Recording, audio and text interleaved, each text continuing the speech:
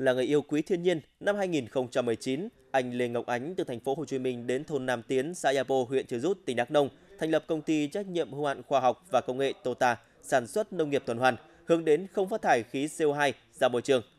Với 3,2 ha đất nông nghiệp bên trên mái nhà được anh Ánh làm điện mặt trời, phía dưới trồng nấm ăn và nấm dược liệu theo chu trình khép kín để tạo ra những sản phẩm an toàn và chất lượng, giảm thiểu ô nhiễm môi trường, bảo vệ được hệ sinh thái và sức khỏe của con người.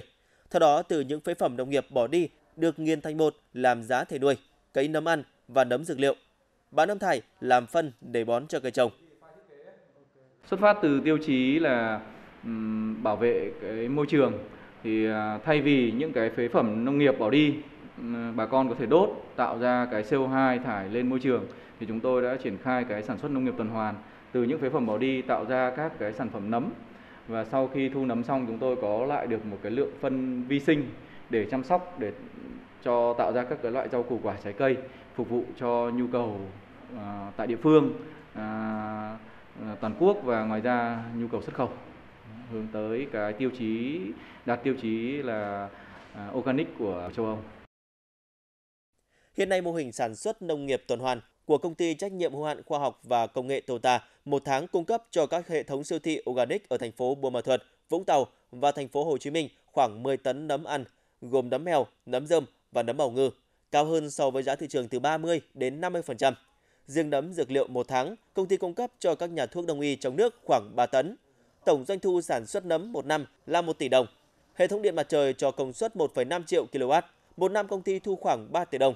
Hiện nay mô hình sản xuất nông nghiệp tuần hoàn của công ty trách nhiệm hữu hạn khoa học và công nghệ Tota đã nhận được sự hỗ trợ về công nghệ, cải tạo đất, xúc tiến thương mại. Từ dự án xúc tiến cung và cầu cho các sản phẩm nông sản đạt chứng nhận sinh thái công bằng, gọi tắt là dự án EcoFair do Liên minh châu Âu tài trợ. Trong quá trình triển khai cái sản xuất nông nghiệp tuần hoàn này, chúng tôi thì có tìm hiểu thêm một số các cái tổ chức nước ngoài. Họ hỗ trợ về mặt à, à kỹ thuật à, đổi mới công nghệ để làm sao là cái phát à, khí thải lên môi trường là bằng à, không thì chúng tôi đã có được một cái dự án của Liên minh châu Âu nó đã hỗ trợ về đổi mới công nghệ à, chuyển giao về mặt à, cải tạo đất ủ phân vi sinh và đặc biệt sắp tới thì họ sẽ xúc tiến cái thương mại cho chúng tôi về các sản phẩm sang thị trường là của châu Âu. Bên cạnh triển khai mô hình làm điện mặt trời kết hợp nuôi cây nấm trên diện tích 3,2 ha, công ty trách nhiệm hữu hạn khoa học và công nghệ Tota cũng đã xây dựng mô hình vườn sinh thái hữu cơ với diện tích 5,5 ha, trồng các loại cây như là chuối, dứa, nhãn, cà phê và các loại rau xanh, trong đó sử dụng hoàn toàn bã nấm thải làm phân để bón cho cây trồng, tạo ra sản phẩm hữu cơ đạt tiêu chuẩn Việt Gáp. Mới đây khi đến thăm mô hình sản xuất nông nghiệp tuần hoàn của công ty trách nhiệm hữu hạn khoa học và công nghệ Tota, ông Cohen Duchato, tham tán thứ nhất trưởng ban hợp tác phát triển và đoàn Liên minh châu Âu tại Việt Nam, đánh giá rất cao mô hình của công ty phù hợp với mục tiêu mà dự án EcoFair hướng đến để hình thành cộng đồng sản xuất và tiêu dùng bền vững. Chúng tôi đánh giá cao, đây là mô hình có rất nhiều tiềm năng phát triển, bởi vì công ty đã tận dụng các nguyên liệu là phế phẩm nông nghiệp bỏ đi như là thân cây cao su để tạo nên vòng sản xuất nông nghiệp tuần hoàn khép kín, rất là phù hợp, có ý nghĩa cả về mặt kinh tế, xã hội và môi trường, phù hợp với mục tiêu mà dự án EcoFair hướng đến.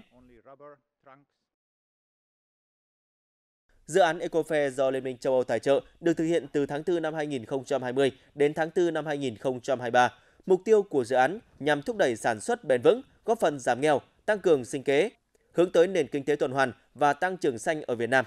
Tại tỉnh Đắk Nông có 4 doanh nghiệp, hợp tác xã trong lĩnh vực nông nghiệp, trong đó có công ty trách nhiệm hữu hạn khoa học và công nghệ Tota đã được hỗ trợ về công nghệ, tập huấn, thiết kế bao bì sản phẩm, tư vấn đăng ký chứng nhận sinh thái công bằng. Trong thời gian tới, dự án EcoFair sẽ tiếp tục hỗ trợ không chỉ Đắk Nông mà còn các tỉnh khác. Ngoài việc cung cấp thông tin, các giải pháp kỹ thuật, đào tạo cũng như kết nối thị trường, tạo thương hiệu, đây là kế hoạch dự án sẽ thực hiện từ giờ cho đến tháng 4 năm sau. Còn nói về sản xuất nông nghiệp tuần hoàn, đây là xu hướng tất yếu của thế giới, nó đảm bảo yêu cầu khắt khe về bảo vệ sức khỏe và môi trường. Ở Việt Nam, tôi thấy rất nhiều tiềm năng bởi Việt Nam là nước sản xuất nông nghiệp. Cũng theo ông Cohen Ducheto, tham tán thứ nhất, trưởng ban hợp tác phát triển phái đoàn Liên minh châu Âu tại Việt Nam, đơn vị tài trợ dự án EcoFair sản xuất nông nghiệp tuần hoàn mang lại nhiều lợi ích cho người tiêu dùng, bởi đây là nguồn sản phẩm uy tín, chất lượng, tốt cho sức khỏe. Bên cạnh đó, việc tiêu thụ các sản phẩm bền vững làm giảm các tác động từ việc tiêu dùng đến môi trường, cho người tiêu dùng cảm giác đang làm việc có ý nghĩa và đúng đắn. Bằng cách lựa chọn các sản phẩm này, người tiêu dùng góp phần thay đổi nhận thức và trách nhiệm xã hội, thúc đẩy sự phát triển bền vững cho thế hệ mai sau.